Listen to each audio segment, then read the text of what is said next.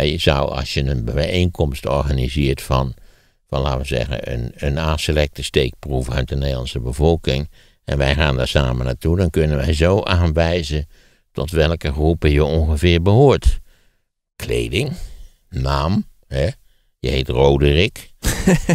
ja. Het verlossen, kunt u mij horen? Wij moeten nog even, dat vond ik ook wel leuk namelijk. Ik weet niet of we hebben, hebben geen aandacht aan besteed. Dat SCP-rapport, hedendaagse ongelijkheid. Nee, we hebben het niet over En, gehad. ja, ik wil ook nog wel eens eh, weer toch reclame maken voor het SCP. Een geweldige instelling. Die Sociaal Cultureel Planbureau. Ja, het Sociaal Cultureel Planbureau, ja, sorry. Al die uitafkortingen van tegenwoordig. Eh, die produceren met enige regelmaat bijzonder aardige rapporten. Die een bijzonder, eh, eh, ik wou gaan zeggen, einleuchtende beeld van Nederland geven. Maar ja, die een bijzonder aardig beeld van Nederland geven. Ja, met al die buitenlandse woorden moet je ook enorm uitkijken. Zijn er trouwens heel veel. We hebben de CERN natuurlijk, hè, de Sociaal-Economische Raad. Die doet, doet Ja, mee. daarvoor was die werkelijk ongelooflijk invloedrijk, maar dat is al lang niet meer zo. Ik geloof wel dat er nog CER-adviesjes zijn. En het is natuurlijk wel een beetje een, achter de schermen een, wellicht effectief overleginstrument, maar dat weet ik eigenlijk niet precies hoe dat zit. En er is natuurlijk een hele carousel, want iedereen die in politiek Den Haag iets heeft gedaan, die wordt op een gegeven moment op die carousel gezet en dan word je de voorzitter van de SER en dan weer na het Ja, je kunt dan allerlei interessante functie. Ja, je moet wat met die mensen die, die, die in politiek vaak dan eh, een ongelukje hebben gehad. En, eh, maar, of, of niet zijn geworden wat ze altijd gehoopt hadden. Of wat andere mensen hadden gehoopt. Dat is, dat- kijk, het afbreukrisico in de politiek is groot. Mariette Hamer, hè, die zat, eh, was eerst lijsttrekker Ja. van de PvdA en is toen voorzitter van de SER geworden en is nu de eh, commi- commissaris, hoe noemen ze het, of de functionaris. Van het eh, over grensoverschrijdend gedrag. Ja. Ja, dat je ook denkt, pot van drie. Nou ja, nu is de, de sportafdeling van, van de NOS weer voor de bijl gegaan. Ja, de ene na de andere. ieder geval, die Volkskrant is wel actief. Ik stel voor ook een uitgebreid onderzoek naar gedrag op de redactie van de Volkskrant. Zou ik nou wel in? Zou dat niet iets voor de kwaliteitskrant zijn? Ik denk dat dat al lang aan bod was gekomen als dat daar had gespeeld. Want ik las ook dat na aanleiding van De Wereld Door bij de NOS eh, mensen zijn gaan praten. En toen is dat weer bij de Volkskrant terechtgekomen. En ik las nu ook bij RTL Nieuws dat daar ook mensen hebben gepraat en hebben gezegd... we hebben ook dit soort verhalen Ah, meegemaakt. kijk, nou, dat is allemaal dus de mediawereld. Ja. Maar wat dacht je bij die kranten? Moet dat toch net zo zijn geweest? Volgens mij, als er nou ergens geschreeuwd werd, is het wel bij kranten waar altijd die, waar die dagelijkse druk op staat om, om iets te doen.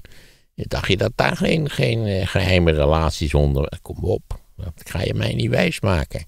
Mhm. Ja, absoluut niet. Maar hoe zit, want er zijn ook mensen die zeggen, ja, de, de, want het zijn vaak jongere medewerkers die dit overkomt, die zijn ook wel erg gevoelig. Dat is de, de andere kant van de medaille die je nu hoort. Ja, dat is misschien zo, maar dan nog. Ik, bedoel, ik, ik, moet je bekennen dat ik Tom Egbers altijd een alleraardigste man heb gevonden. Maar dat je denkt, hoe is het mogelijk? Ik had dat niet achter hem gezocht. Nee, maar bij, de, bij Matthijs had je dat ook niet. Dat je dacht van, Nou, dat, daar dacht ik heel anders over qua aardigheidsfactor. Ja, Matthijs vond ik helemaal niet aardig, maar Tom Egbers leek mij in ieder Ja, ik heb hem één of twee keer gesproken in mijn leven. Maar dat leek me een hele aardige man. ja, maar nu heb jij geen eh, relatieachtige dingen met hem meegemaakt. Nee, Dus dan, natuurlijk niet. heb je, dan ben je misschien niet echt een, iemand... Een, eh, Sterker nog, geloof dat we het over voetbal hadden. Dus ik kan me goed herinneren. Ja. Maar hij werd gezien als Mr. eh, Studio Sport. En eh, daar, ja, daar waren dan dames... Nou, eh, hij had ook reportages gemaakt over zijn Engelse achtergronden ja, en andere zo. tijden, ja. Dus ja, nee, nogmaals, ik, ik, vond ik Matthijs aardig? Nee. Maar vond ik Egbers aardig? Ja. Mhm. Zo zie je maar weer. En Jack van Gelder, die in bad zat. Toen, ja. Ja, kijk. Met, met Jack van Gelder had ik verder niks meer. Nee, maar wel op zich kwalijk dat die vrouw van Egbers dus bij die eh, organisatie Ja, werkt. dat Die- deugde al helemaal niet natuurlijk. dat is toch wel een beetje raar dat dat Ja. zo gegaan. Ja. Maar ja, goed, dat, dat had natuurlijk ook te maken met de echtelijke relatie, neem ik aan. Je begrijpt dat hij dit niet, niet dit aan haar eh, direct heeft doorgebriefd. Denk ik. Maar het lijkt me vreselijk om zo in de krant te komen. Nee, dat, ik ben in dit geval eh, is dat hoogst ongelukkig natuurlijk. Ik blijf wel bij mijn opvatting dat dit soort van situaties zich overal Ja, in ja. alle organisaties voordoet. Maar dat hoor je En toch ook als je met mensen over praat. Zeggen ze, oh, in het ziekenhuis Hetzelfde. Precies. Op het advocatenkantoor hebben we ook legio verhalen. Allemaal, allemaal dat soort van situaties. Dat wat natuurlijk ook inherent is vaak in het, in het samenwerken. In, Ja. in machts, eh, ongelijke machtsrelaties vanzelfsprekend. Eh, in, in natuurlijke menselijke impulsen. Ik kan me best voorstellen dat je, dat je gezellig werkt met iemand en dat je die je dan per slot van rekening als er hard gewerkt wordt eh, eh, vijf dagen in de week, eh, acht uur per dag ziet. En dan moet je misschien s'avonds nog bellen hoe het, hoe het precies gegaan is. Ja, dan kan ik me best voorstellen dat je dan verliefd raakt. Mhm. Dat kan gebeuren, Er toch? zijn heel veel voorbeelden ook van. Ja, dat tal van voorbeelden. Ja, neem, neem meneer Murdoch, waar ik nu aan denk. Die gelooft dat hij elke, elke tien jaar een nieuwe vrouw neemt. Als je die centen hebt, dan is dat een bekend patroon. Waar die ook mee samenwerkt, of dat dan weer niet. Ik weet niet, ik geloof dat de meeste van die vrouwen van hem uit, uit Ja. die organisatie afkomstig zijn. Nou, er was laatst ook een verhaal van zo'n consultancybedrijf. Die dus ook hard werken. Precies wat jij zegt. En die gaan dan nog borrelen op vrijdagavond. ja, en dan wordt er wat gedronken. zeker. Dat de bekende Zuidasborrel. Ja, en dan wordt er- volgens mij de Blauwe Engel is de beruchte kroeg die daar ligt. Waar allemaal dingen gebeuren. En dan wordt er dus een hand op een, eh, een eh, zij gelegd. Ja, het kan natuurlijk zijn dat die ene collega die dat doet dat anders bedoelt. En dat dan toch degene die dat overkomt dat anders interpreteert. En dan heb je alweer zo'n zaak. Ja, ook, ook, je moet natuurlijk ook nu enorm oppassen dat je het niet zodanig gaat overdrijven. Dat je dat praktisch elk denkbaar menselijk gedrag verboden Precies. moet worden. Ja. Dat was het voorbeeld van Accenture, ook zo'n consultancybedrijf. Die had dus zo'n leidinggevende die dat had gedaan. Volgens degene die dat overkwam was op staande voet ontslagen. En die man zei, maar ik heb dat helemaal niet zo bedoeld. Hij heeft ook zijn excuses aangeboden. Schijnbaar was er ook niet goed onderzoek gedaan. Hij heeft dat aangevochten bij de rechter. En die rechter heeft gezegd, u bent onterecht ontslagen. Volgens mij 50.000 Ja, euro kijk. schadevergoeding. Dus Verstandige rechters zo toe. En daar hebben we de rechters voor om verstandige dingen te zeggen, toch? Ja. Om, om de maat der dingen in de gaten te houden. Maar ja, je weet met alles van dit soort van bewegingen. Dit is een beweging, Me Too. eh, die, die, die ontaarden vaak in, in fanatisme, in, in, extreme, in extremen. Dat is natuurlijk ook met die, met die woke-beweging. Dat we weer zoals gewoonlijk, ja, dit is de zoveelste keer geloof ik, dat we de hele wereldliteratuur weer door de mangel moeten halen om alles eruit te halen wat, wat ons nu niet bevalt. Of waar wij nu anders over denken dan de schrijver over dacht in 1820. Ik noem maar wat op. Ja, dat, dat, dat, ook dat is inherent aan, aan, aan het Ja. menselijk gedrag. Dus- Je hebt altijd fanatici. Je had dat ook in de, in de studentenbeweging. En fanatici winnen zeker in eerste instantie altijd. Vaak zijn ze de oorzaak dat de hele zaak uiteindelijk uit elkaar klapt, omdat het gewoon niet realistisch meer is. Maar je had in de, bij de studentenpolitiek werd er natuurlijk veel vergaderd, want je weet, we zijn allemaal gek op vergaderen. Hè, als we ons woordje maar kunnen doen. Maar goed, de meeste normale mensen hebben daar om een uur of elf s'avonds hebben ze daar schoon genoeg van. Dan willen ze bier gaan drinken of iets anders gaan doen. Maar er is altijd een kleine groep die blijft zitten. En, en die gaat, dat zijn de fanatiekelingen. En die gaan dan door met vergaderen. Bovendien hebben zij, omdat ze dan nu met een paar zijn, zijn zij in het bezit van de stencilmachine gekomen. Dus zij gaan flink aan de slag met stencelen, radicale mening, nou ja, enzovoort. Dus ja, de, de, de, echte vergadertijgers wonnen vaak, omdat de normale mensen vertrokken waren. De fanatici dus. Kijk naar, kijk naar wat voor beweging dan ook in de 20e eeuw. Altijd ontaard in fanatisme. Ook, ook, ook de MeToo-beweging kan heel makkelijk ontaarden in fanatisme. Wat je zegt, ik bedoel, je legt een hand verkeerd. Je moet natuurlijk wel niet tot een, verlegen types horen, maar goed, je legt een hand verkeerd. Je moet daar enorm mee uitkijken, maar daar, het is inherent aan de menselijke aard. Je hebt altijd mensen die dingen à l'outrance willen. Jongen, jongen, internationaal woordgebruik, hè. Die, die, tot, die, overal in alles tot het uiterste willen gaan. De balans vinden is denk ik de kunst hier. Dus je, ja, moet het, ja, de je, balans vinden. je moet het niet bagatelliseren, maar je moet het ook weer niet de overhand laten hebben als het bijvoorbeeld niet de waarde heeft die het zou Dat moeten hebben. het, ja. Ik denk ook dat, dat de klimaatbeweging, waarvoor in principe alle reden is om, om er te zijn en te zeggen wat ze zeggen, maar tegelijkertijd hebben ze voortdurend de neiging om zich in fanatisme te verliezen. Mhm. Het is al te laat, we hangen met onze vingers aan de rand van de, van de afgrond. Eh, nou ja, waardoor natuurlijk allerlei mensen die misschien niet zo uh, geëngageerd zijn, denken: ja, het is al te laat. Hè? Ja, daar hoeft er eigenlijk niks meer aan te doen. Wat, moet je, wat moeten we verder nog? En waardoor je ook, ook in allerlei opzichten, dat blijkt ook uit onderzoek, een soort wanhoopstemming creëert. Die naar mijn idee geen bijdrage levert aan de oplossing van de vraagstukken. De mensen die dat doen, die zeggen misschien, ja, we moeten dit doen om aandacht te vragen, want anders... Ja, maar goed, dat, is, goed, dat heeft ook zijn eindigheid. Want dan gaat je ook bij het aandacht vragen, is er steeds weer een stap verder. Hè? Mm, ja, maar we kwamen weer op door dat rapport van het Sociaal Cultureel Ja, hedendaagse ongelijkheid heet dat rapport. En dat, dat is eigenlijk een heel aardig idee omdat de basis van dat rapport die is vrij simpel. komen straks aan de cijfertjes die zoals je zult zien eigenlijk altijd weer in dezelfde richting leiden. Maar goed, de basis van het rapport was de, het idee dat, eh, dat ongelijkheid in de samenleving eh, veel meer is dan economische ongelijkheid. Dat inkomen niet alles zegt over je maatschappelijke positie. En dat met name ook je sociale vaardigheden, je netwerken, en ook je culturele vaardigheden. Dus of je, of je een beetje mee kunt praten over muziek, musea enzovoort enzovoort. En je culturele kapitaal, zeg je dat, dat niet alleen eh, geldelijk kapitaal noodzakelijk is, maar ook sociaal en cultureel kapitaal noodzakelijk is. Dat het vaak een, een, een balling is van die, van die drie gegevens die mensen tot, tot invloedrijke leden van de samenleving maakt. Dat lijkt mij een geweldig uitgangspunt.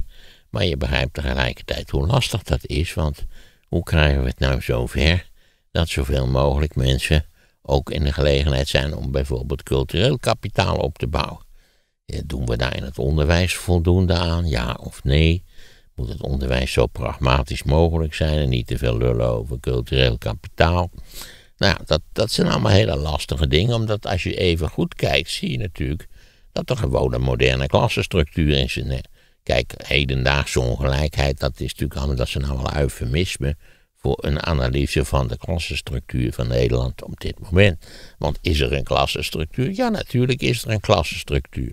Maar je zou, als je een bijeenkomst organiseert van, van laten we zeggen, een, een aanselecte steekproef uit de Nederlandse bevolking, en wij gaan daar samen naartoe, dan kunnen wij zo aanwijzen tot welke groepen je ongeveer behoort kleding, naam, hè? je heet Roderick. ja. Ze geven hele lollige voorbeelden van, van naamcultuur. Hè? Dat, dat, dat, ja, sommige groepen hebben heel anders, ze gebruiken heel andere namen dan andere groepen.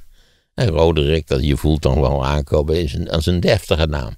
Net de mensen noemen hun zoontjes Roderick of, ze, nogmaals, ik ben de meeste voorbeelden vergeten, maar ze zijn, bij, bij al die voorbeelden denk je, ja, dat is waar ook. Ik ken er wel een paar zo op die manier.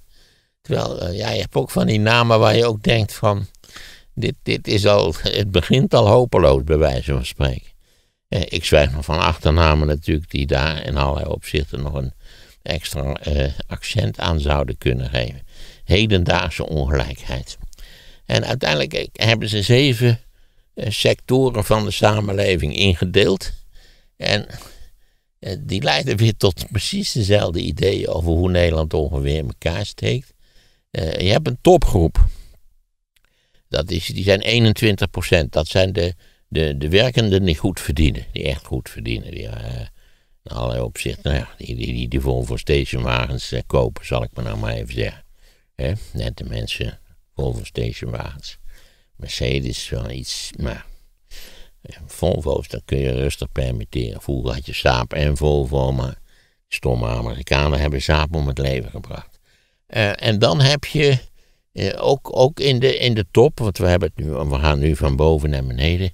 Ook in de top heb je de mensen die op dit moment weliswaar economisch gezien armoedzaaiers zijn, maar die bezig zijn om sociaal en cultureel kapitaal op te bouwen. Je voelt al wie het zijn. Dat zijn mensen die bezig zijn met een universitaire studie af te maken. Niet allemaal zullen ze het fantastisch doen, maar een, een, het, het scheelt of je die, dat, ik, dat uh, culturele en sociale kapitaal heb opgebouwd, ja of nee.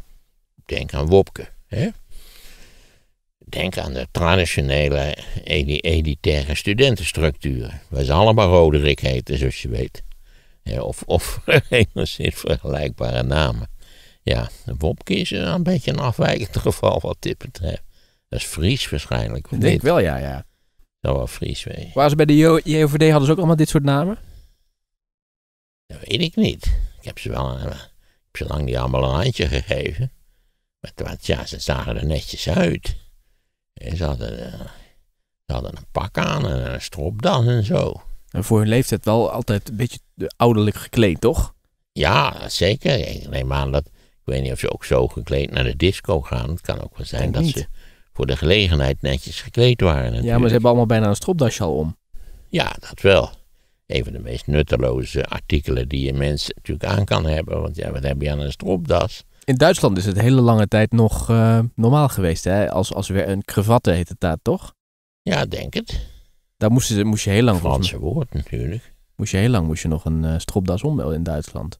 Ik denk dat als je bij de IBM gaat werken in de hogere regionen, dat je dat van je verwacht wordt dat je correct gekleed bent. Nou, sinds corona is het wel een beetje veranderd. Ik denk ook bij McKinsey en dat soort van bedrijven, dat je daar, eh, daar kun je niet zo, zo zompig als jij verschijnen. Dat kan ik je zo vertellen. ik zwaar over mezelf, maar goed, dan hebben we nog, ook nog in de elite, dat zijn de mensen, de gepensioneerden die er, die er warmpjes bij zitten. Nou, reken maar even uit, we hebben 21%, 8% studenten. Is 29%, dan heb je dan nog 12% eh, gepensioneerden die er warmpjes bij zitten. Laten we zeggen mensen zoals ik, globaal gesproken. Dus die komen wel, dan zit je al op 41%. 41% van de bevolking, daar hoef je echt geen centje mee te hebben, die draaien goed. Dat is, dat is nou eigenlijk een heel breed, een heel vrij brede elite zou ik van kunnen spreken. Dan daaronder komt een groep die is 25%. Dat is zeg maar de werkende middenklasse. Je kunt ook, wat, wat we net besproken hebben, kun je ook een soort middenklasse. En daar zit ergens, verschuift dat van mensen die echt enorm veel geld hebben naar mensen die een heel aangenaam bestaan hebben met de Volvo Station maar die misschien niet schat helemaal rijk zijn en misschien ook wel niet de ambitie hebben om dat te worden. Maar goed, er is een brede middenklasse. Die verdient aanzienlijk minder dan die, dan die werkende succesvolle 20% aan de bovenkant. Maar toch, daar gaat, het, daar gaat het niet onredelijk mee. Dat is ongeveer 25% van de bevolking. Daar komt dan nog een groep bij. Dat zijn eh, gepensioneerden met relatief kleine pensioen. Maar, waar die waarschijnlijk een heel fatsoenlijk leven kunnen leiden. Maar het, het, het, is niet. Het is geen vetpot, laten we het zo zeggen. Het is niet alle dagen feest. Dus dan zit je aan 25, dat is geloof ik een procent of 12. Dus dan zitten we op 37 procent. Reken maar even door. En dan komen we aan de onderkant. Dat zijn de onzekere werkenden. Dus mensen die van baantje naar baantje, het betaalt nooit veel. Ze hebben nergens vast werk. En nou ja, het, het werk zelf is, ze leven in een onzekere wereld. En dan daaronder hebben we het precariaat term die ik niet kende tot voor kort, maar een paar jaar geleden las ik zo'n ander rapport en ken ik precariaten zijn ze gek op bij, bij het SCP. Eh, dat is ongeveer 6% van de bevolking. Dat zijn mensen die, nou ja, die gewoon in armoede leven. Daar komt het een grote trek op neer. Het zijn vaak eh, moeders eh, die, die gezinnen waar de, man vertrokken is. Moeders met kinderen die van een uitkering moeten leven. Het zijn vaak migranten die op een of andere manier eh, tussen de wielen van de samenleving zijn geraakt. Eh, nou ja, dat, dat, is echt, dat is echt de absolute onderkant. Nu gaan we, eh, gaan we het allemaal bij elkaar optellen. Want die hele echte onderkant, dus zijn de onzekere werkenden en het precariaat, dat is samen ongeveer 14% van de bevolking. Nee, schat 16% van, ja, 16% van de bevolking. Dus dat betekent dat we die hele bovenkant bij elkaar opgeteld hebben, ik zei al, 41% dat is echt, eh, dat is echt bonanza. Die kunnen altijd een extra reepje chocola kopen. Dat is helemaal geen probleem. Eh, maar als je die middengroep erbij rekent, zit je in totaal uiteindelijk op ongeveer 84% van de bevolking. Wat hou je over? De verliezers van, het, van de Nederlandse samenleving. Dat is 16% van de bevolking. Nou, dat klopt weer met al die berekeningen. Niet waar dat, nou, dat 16% altijd het gevaar loopt uit te vallen, eh, eh, pech te hebben, in armoede te leven, eh, zich ongehoord voelt. Het zijn ook heel vaak mensen die chronisch ziek zijn. En daar zou je ook eens als overheid eens wat, misschien eens wat beter naar moeten kijken. Kun je daar iets voor doen? Kan, zoveel zijn het er ook weer niet, maar ze zijn er wel. En ze blijken allemaal bijvoorbeeld populistische stemmen. Nou, allemaal. Voor, een belangrijk deel populistische stemmen. Vanuit dat perspectief natuurlijk van het ongehoord zijn. We, do- we doen er niet meer toe. We worden niet geholpen of niet voldoende geholpen. Dus ook dit rapport wijst weer in dezelfde richting. Niet waar dat het in Nederland eigenlijk een eh, heel aangenaam wonen is. Maar dat aan de onderkant, laten we het wat ruimer nemen, we nog onder het af 20% zit. Waar we meer voor zouden kunnen doen en waarvoor we meer zouden moeten doen. Ik zou zeggen, ja, eh, eh, moeders die er alleen voor staan en met, met drie kleine kinderen, opgroeiende kinderen, doe daar wat meer voor. Hè. Zorg ervoor dat ze niet letterlijk in armoede moeten leven. Ik geloof ook nu eh, dat 8% van de bevolking leeft in armoede. Mm. Dat is natuurlijk in Nederland, in een land wat zo schat hemelrijk is als Nederland, is dat een, vormfout. Een weeffout, weet ik hoe je het precies zou willen noemen. Is armoede totaal uit te bannen? Nee, dat denk ik ook niet. Je weet, armoede is vaak erfelijk. Hè? Dus het, het, is ook een, habitus, een, een manier van denken. En nou ja, eh, eh, eh, een gebrek aan cultureel kapitaal, daar komt het eigenlijk op neer. Een gebrek aan sociaal en cultureel kapitaal. Kijk, als je al die drie die dingen hebt, namelijk het geldelijke kapitaal, het sociale kapitaal, culturele kapitaal, prima. Hè? Maar dan zit je al bijna aan de helft van de bevolking. Dus ja, het, is, het, het werpt een duidelijk licht op de Nederlandse klassenstructuur. Eh, Nederland is een extreem welvarend land, hoort tot de 15 meest welvarende landen ter wereld. Maar we zouden wel wat meer kunnen doen voor het precariaat in de ruimste zin van dat woord. Mm. Dat blijkt hieruit, dat is natuurlijk in de afgelopen jaren met enige regelmaat gebleken. Verruim die mogelijkheden om die mensen op zijn minst een redelijk bestaan te geven. Daar hebben we geld genoeg voor, echt waar. En iedereen kent waarschijnlijk iemand uit die doelgroep, denk ik. Dat weet ik niet.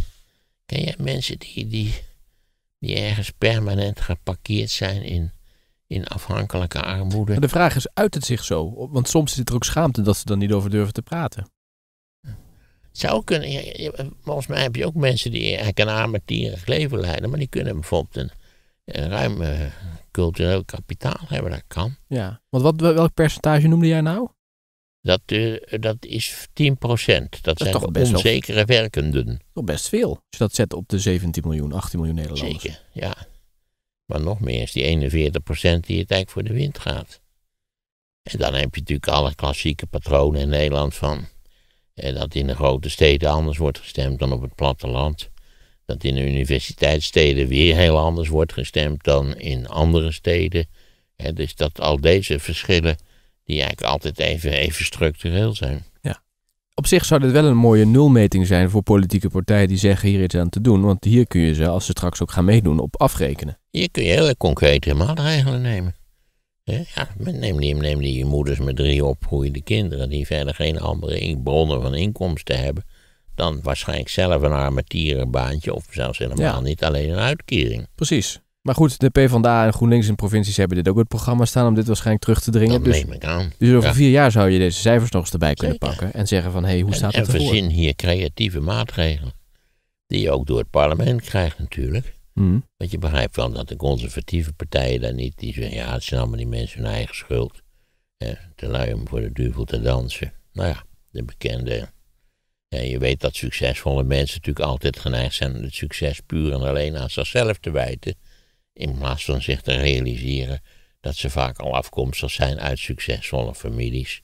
Dat ze vaak in die delen van de stad wonen waar alle andere mensen ook redelijk succes. Nou, kortom, dat ze dat ze al kunnen, kunnen terugvallen op een gestapelde structuur van, van, van prettig, prettig samenleven. Hm. Want ligt in de lijn hiervan ook dat jij zegt, eh, armoede is erfelijk? Ja, armoede is erfelijk. Dat, dat zou je ook maatregelen moeten kunnen verzinnen, waardoor je die patronen doorbreekt. Hè? Want waarom is armoede erfelijk? Je begrijpt het dan wel een beetje. Als je natuurlijk niet uitgerust wordt door je familie, door de, door de armetierige omstandigheden met dat sociale en culturele kapitaal, eh, dan is er ook een hele goede kans dat je nooit verder komt dan de lagere school. Eh, dus dat je ergens in het, in het scholingscircuit blijft steken op een plek die je, waar je ook niet zo verschrikkelijk veel aan hebt. Je hebt natuurlijk ongetwijfeld de individuele sterren die gewoon, ondanks de hele achtergrond, er een succes van maken. Dat komt voor. En omgekeerd heb je waarschijnlijk mensen die uit die middengroepen naar beneden vallen door omstandigheden, ziekte bijvoorbeeld. Waardoor ze eigenlijk ook in. Want er zit natuurlijk wel een soort. soort in, in dit hele schema, zal ik maar zeggen. Daar zit natuurlijk wel beweging in, dat wel. Hmm. Maar natuurlijk de, de, we zeggen, de klassieke sociale mobiliteit. Dus je komt uit een heel eenvoudig milieu. Eh, waar je bent de eerste vaak die, die naar eh, de middelbare school gaat. En vaak ook natuurlijk de eerste die gaat studeren. En wat, wat tot aanzienlijke emancipatie leidt. Sociale emancipatie in het bijzonder wel. Dat, dat is denk ik wel voorbij. Er aantal mensen wat het hartstikke goed kan, maar, maar simpelweg ergens de boot mist. Vroeger was dat natuurlijk de normaalste zaak van de wereld. Maar denk aan het feit dat die top waar we het over gehad hebben, is 41% van de bevolking. Waarvan je natuurlijk aan, op je, aan je water kunt voelen dat die ook vrijwel allemaal tertiair zijn opgeleid. Sterker nog, ik weet wel zeker dat dat zo is. Hmm. Ik ben vorig jaar in een klasje geweest met mensen die konden niet lezen en niet schrijven. Dat komt nog steeds voor, ja. Ja. Analfabetisme. En ze zeiden ook van we schamen ons daarvoor, want we, we zijn nu in dit klasje. dan om- heb je die Boeddha-mavo's heb je daarvoor. Ik weet niet waar dit meest mensen met een migratieachtergrond. Nee, nee. Gewoon doodgewoon. Ja. En die zeiden inderdaad, we zijn van school gehaald, want we moesten thuis zorgen voor het gezin en eh, konden daardoor niet ons ontwikkelen. En dan later loop je er tegenaan dat je een brief krijgt van een overheid. Je kunt het niet lezen, je snapt het niet. Nou heb ik eh, onlangs een brief van de Belastingdienst gekregen. Waar, die ik althans na eerste lezing begreep ik er niets van. ik heb ook nog maar meteen een afspraak gemaakt met mijn belastingman. Ik zei, ja sorry, ik begrijp er niets van. Hoe, het- hoe, hoe het mogelijk is dat dit soort van, van brieven verstuurd worden. Dat daar niet iemand is die zegt, jongens luister Dan ben je nou eens hoog even. opgeleid. Ja, precies. Ik ben hoog opgeleid.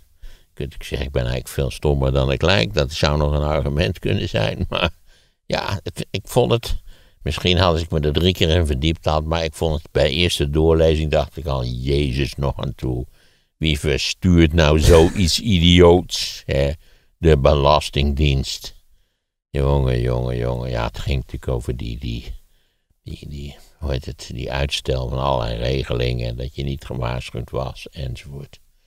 Maar op, op een zodanige manier gesteld dat je denkt, doen ze het expres. Maar kun je je voorstellen dat iemand, want diezelfde brief wordt ook naar iemand gestuurd die niet kan lezen of schrijven. ja, nou, dat weet ik niet, want je moet wel inkomstenbelasting betalen, geloof ik. Ja, maar goed, dat kunnen die mensen toch ook hebben. Ja, dat zou kunnen, ja, dat zou best kunnen. Want er was ook een man die zei op zijn werk moest iets ondertekenen. En dat stelde hij maar iedere keer uit, omdat hij wist, ik kan dit niet, ik kan dit wel lezen, maar ik snap er niks van. Dus die wilde dat mee naar huis nemen, maar zijn werkgever dwong hem om dat daar op kantoor te doen. En toen uiteindelijk kwam dus de arbeid te mouw, zegt ik kan het eigenlijk niet lezen. En toen is hij dus naar zo'n klasje Ja, gegaan. maar ik kan het wel lezen, alleen begrijp ik niet wat je over gaat. Dat Ja. is, eh, Ja.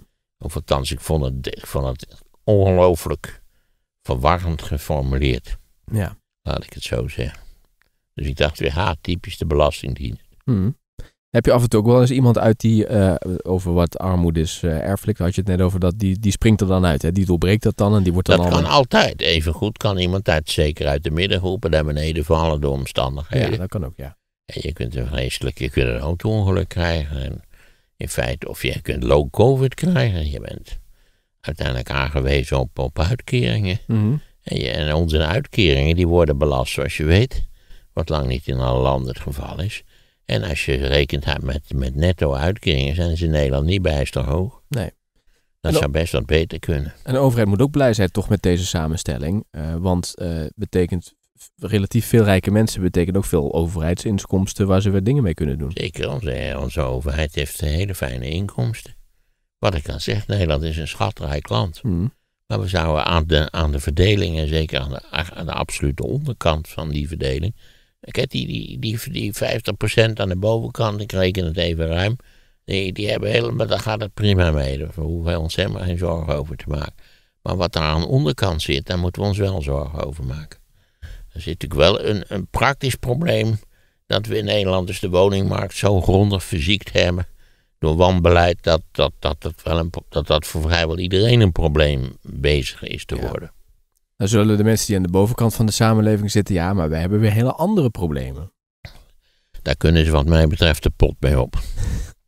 Ik zat nog eens, Ongetwijfeld hebben ze keuzeproblemen. Moeten we nou naar dit wintersportplaatsje? Of moeten we nou naar dat Ligt er wel wintersportplaatsje? Moeten we een dure Duitse auto kopen of een dure andere auto? Ja, dat soort van dilemma's, dat heb je natuurlijk altijd. Ja, je krijgt hoe meer geld je te besteden hebt, hoe meer keuzedilemma's. ja. Dus ik zou zeggen, hou het simpel mensen. Ik zat nog eens op het terrasje te wachten op iemand in, waar was het nou, volgens mij in de buurt van Hilversum Laren of zo. En eh, die gesprekken op dat terras gingen alleen maar, ze werkten sowieso allemaal vier dagen, had ik de indruk. En het ging er met name over wanneer de volgende vakantie weer gepland Ja, stond. nou moet ik zeggen, ik wil niet rottelen, maar het viel mij altijd op dat, dat ook in, mijn, in, bij, bij, eh, in, in de omgeving waar ik werkte, de universiteit, ook enorm veel over vakantie geluld werd. Ja, Nee, Ik begrijp daar niets van. nee, ik ook niet. Ik heb niks met vakantie. Maar het is dan toch Ja, vrij je moet met vakantie, maar, maar als morgen een vakantieverbod zou worden uitgevaardigd, dan, dan hoor je mij niet piepen. Nee. En ze zeggen altijd waar ze naartoe gaan en wat, wat, ze, wat ze gaan doen dan. Ja, en, hoe geweldig het is natuurlijk en zo. En, ja, dat ze bij een mannetje in Frankrijk een heerlijk, heerlijk 16 dozen wijn gekocht hebben. En nou ja, allemaal dat soort van lulkoekerij. Sowieso het huisje in het buitenland natuurlijk. Een bekend, bekende manier om je geld over de balk te gooien. Waar- waarbij ik zou zeggen, als ik, ik heb het vaak gezegd. Als ik één advies heb voor mensen die meer geld hebben dan ze eigenlijk verstandig kunnen besteden. Koop geen boot. Behalve als u een fanatieke zeiler bent, dan heeft u van mijn toestemming om een boot te kopen. Heeft u een boot die alleen maar bij Durgerdam aan de kade ligt, niet waar waarmee u één keer per 14 dagen met uw kennis op de achterplecht bier gaat zitten drinken, dan is het echt zonde van de centen, dat kleren ding. Hè? Want een bootonderhoud, dat kost veel geld, kan ik u vertellen. Koop geen huis in Frankrijk. U kunt in Frankrijk alles huren. U kunt zelfs het Louvre huren, heb ik gelezen, voor hele schappelijke prijzen. Weliswaar kort, gedurende korte tijd, maar het kan. U kunt kastelen huren, u kunt boerderijtjes huren, u kunt kippenhokken huren, u kunt werkelijk alles huren. Van, maar koop niet zelf een huis in Frankrijk. U zult zien, het ligt notarieel lastig. Het kan bij erfenissen alle mogelijke hele wonderlijke praktische problemen geven. Franse erfwetgeving zit anders in elkaar dan de onze. Doe het niet. En dan heb ik nog een laatste ongelooflijk lollige tip. Niet waar, niet elke tien jaar een nieuwe keukeninrichting. Nergens goed voor. Als u een vierpits gasstel hebt met een oventje, dat is al ruim voldoende. Nu wordt er wel volgens mij in Nederland ook eh paal en perk gesteld aan het hebben van, een, van vastgoed, hè, van wat ze dan willen laten renderen. Dat is op zich wel goed ook voor de woningmarkt. Ja, nou is dat vrij lastig natuurlijk, want dan moet je toch het bezitsrecht moet je gaan inperken. Dat, dat ligt denk ik toch gevoelig. Maar in box 3 gaat de belasting omhoog, waardoor het minder eh, aantrekkelijk wordt volgens box mij. 3, maar kijk, daar, daar tref je mij nu al. Als je mij vraagt, wat zit er in box 3? Ja, vermogen. Ik heb geen idee. Ik zou zeggen iets anders dan in box 2, maar, maar verder, veel verder kom ik er niet mee. Volgens mij is box 2 beleggingen en box 3 is, is eh, vermogen. Dus be- bezit, spaargeld, dat soort dingen. Oké. Interessant. Ja, je ziet, ik heb het... Ik heb lang, lang geleden, in de jaren zeventig, twee keer mijn eigen belastingformulier ingevuld. Maar omdat mijn vrouw natuurlijk ook werkte en goed verdiende, vond ik dat al heel snel vond ik het zo ingewikkeld dat ik dacht, Ja. ik ga hiermee ophouden. Kun je beter iemand laten doen. Ja, toch? natuurlijk kan je dat veel beter door iemand laten doen. Ik had nog Met als gevolg dat ik geen idee heb. Kan, is er ook box 4 of niet? Nee, volgens mij niet. Oh, tenminste, denk ik niet. Ik weet het Is niet. dat niet een leuk creatief ideetje, een box 4 erbij te maken? Ja, maar het is nog meer werk. Vol met brieven die je niet begrijpt. Ja, het is nog meer werk bij de Belastingdienst. Ik denk dat die systemen dat niet aan kunnen. Nee, dat is ook zo wat. Dan loopt alles helemaal vast. Dat ze allerlei hele nuttige wetgeving helemaal niet kunnen effectueren.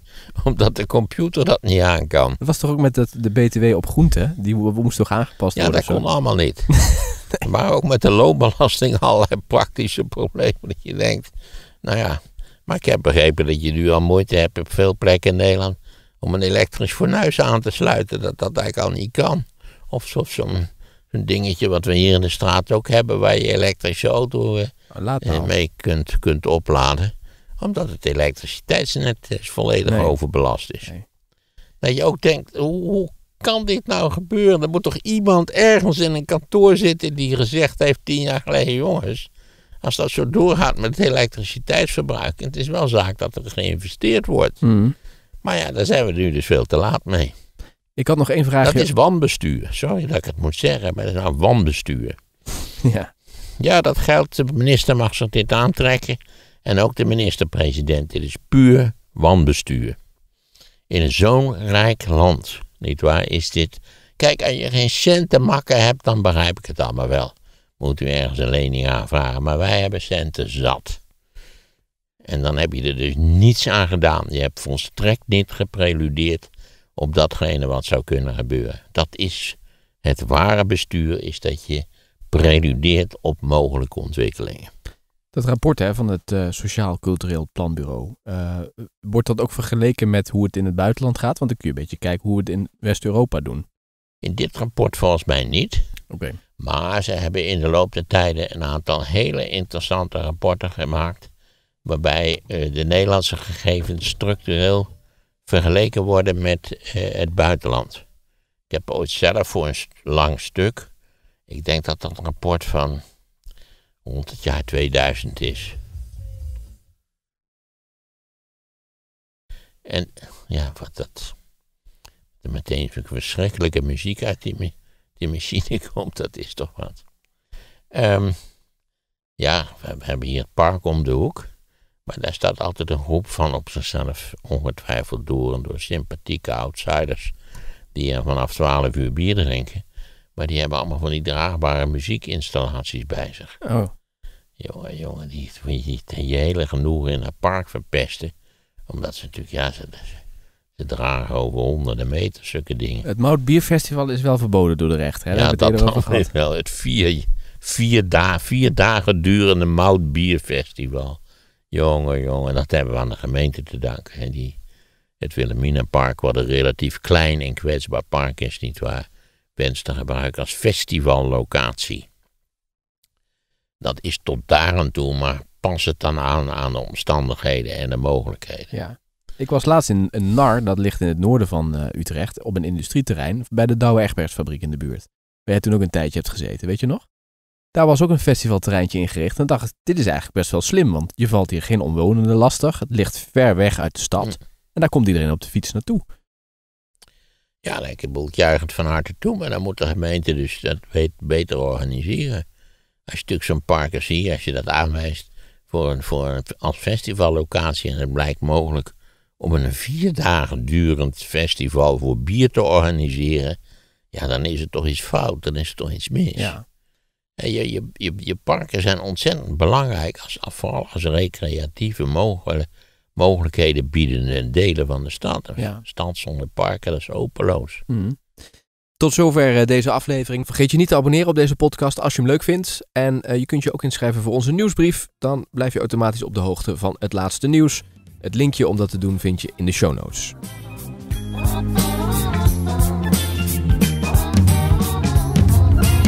Koop geen boot. Heb je de live podcast over de oorlog in Oekraïne gemist? Vervolgens word je eigenlijk uitgemaakt voor een randebiel die niet wist wat er aan de hand was. En dat vond ik zeker in het geval natuurlijk van Arend Jan wel heel vreemd. Aangezien hij vrijwel nooit gelijk gehad heeft. De live podcast is nu terug te luisteren als luisterboek. Tegelijkertijd hoef je dan weer niet meteen, niet waar sidderend wakker te schudden, omdat je ook hebt gehoord dat het Russische leger geen kloot voorstelt. En ook moeite zou hebben met Litouwen te bezetten. Geniet ruim twee uur lang van Maarten van Rossum op ouderwets studium generale niveau. De link naar het luisterboek staat in de show notes.